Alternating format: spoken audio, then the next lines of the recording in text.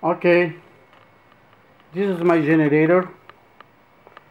Uh, I just finished this last Sunday, the wines. And yesterday I tested, but I got a problem with the capacitors.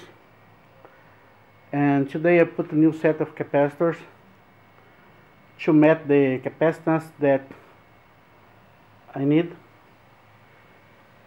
here I got uh, the Variac. I got a DC motor and I got uh, here uh, the head fire that my setup. I put here is a temporary situation as you guys can see. But now we're gonna start the system I got here the fatiometer so we're gonna start